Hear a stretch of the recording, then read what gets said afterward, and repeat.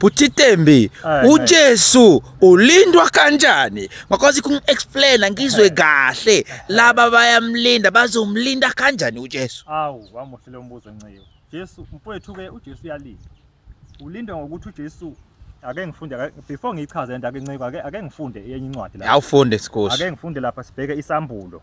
Isambulo 14 sofunda u- uverse 12 la kufundeka khona kanje.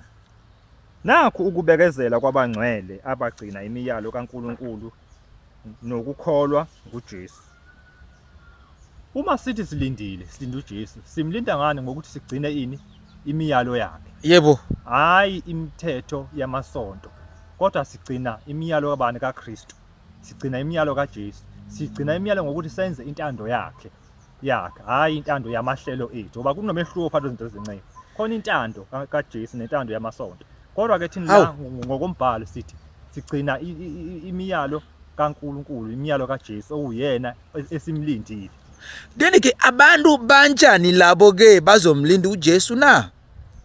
Abantu abazomlinda uJesu laba abakholwa egameni lakhe. It means abangcwele. Abangcwele. Oh. abazolinda ngokubekezela. Until inkosi izibuye oh it means that not anyone that will wait for Jesus No, Christ. not anyone. Only the the people. labo abangcwele abazolinda ngokubekezela. Ah. until inkosi izifike izolanda ibandla layo. Leli sithe masiqala nceke sathi liyindlu kaNkuluNkulu. Yebo. Yilona bandla ke lelo. Then la uNkulunkulu ehlala khona. Okay. How can we notice uh, the false apostle and the prophet and the false evangelist? How can we know them singabazi ngalo singabazi ngokuthi kube ngokuthi bagcine imiyalo kaKristu. Sibabona ngalo banalezo impazo ukuthi bona bahamba ngokukaKristu kufanele ukuthi mabehamba kubonakala uKristu kuko konke abakwenzayo. Amen. Amen. Very Yeah, thanks thanks. for this gospel. Yeah all people will hear you. Uh-huh. they may follow this true way to heaven. Amen. Amen